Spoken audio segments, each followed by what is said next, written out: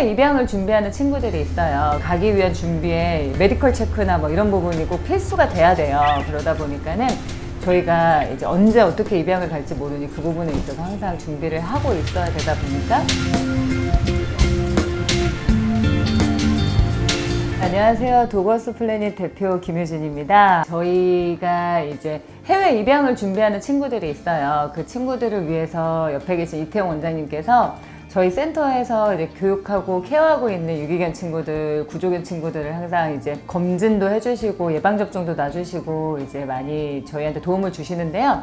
해외 입양을 가기 위한 준비에 medical check나 뭐 이런 부분이 꼭 필수가 돼야 돼요. 그러다 보니까는 저희가 이제 언제 어떻게 입양을 갈지 모르니 그 부분에 있어서 항상 준비를 하고 있어야 되다 보니까 특히 오늘 같은 경우에는 그 양쪽 후지 마비가 있는 친구예요. 그래서 그 친구가 뭐 지금 당장 이 아이가 확 치료가 되는 거는 아니지만 특히나 노령견들 같은 경우에는 삶의 질이 좋아야 이 아이들이 건강으로 이어지거든요. 그렇기 때문에 조금이라도 더 나은 삶의 질을 위해서 이 아이가 활동하고 하는데 조금이라도 좀 편하게 해줄 수 있는 방법이 뭐가 있을까를 원장님이랑 고민을 계속 하다가 오늘 검사, 종합검사를 하러 오는 김에 어, 좀 도움을 줄 수 있는 주사도 좀 맞아보고 이렇게 해서 좀 아이한테 저희가 해줄 수 있는 게 뭐가 있을지 네, 원장님의 도움을 받아 네 그렇게 하고자 이 자리에 왔습니다. 폭스의 경우는 이제 뒷다리에 관절 고정술처럼 뒷다리가 이제 고정이 돼 있는 상태인데